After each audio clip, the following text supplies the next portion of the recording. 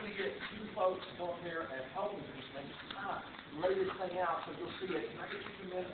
go up here and join me for just a minute, please?